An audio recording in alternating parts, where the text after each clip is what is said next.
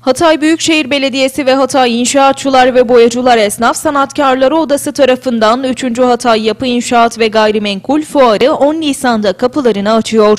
Şehrin ekonomisine katkı sağlaması amacıyla yapılan 3. Hatay Yapı İnşaat ve Gayrimenkul Fuarı çok sayıda katılımcı firmayla misafirlerini ağırlamaya hazırlanıyor. 10-14 Nisan tarihleri arasında gerçekleşecek olan fuarda şehrin ekonomisine katkı sağlaması ve yatırımcıların yüzünü Hatay'a çevirmesi amaçlanıyor. 10 Nisan çarşamba günü saat 14'te kapılarını açacak ve 5 gün boyunca ziyaretçilerini bekleyecek olan 3. Hatay Yapı İnşaat ve Gayrimenkul Fuarı yerli ve yabancı yatırımcılar başta olmak üzere çok sayıda konuğu ağırlamaya hazır.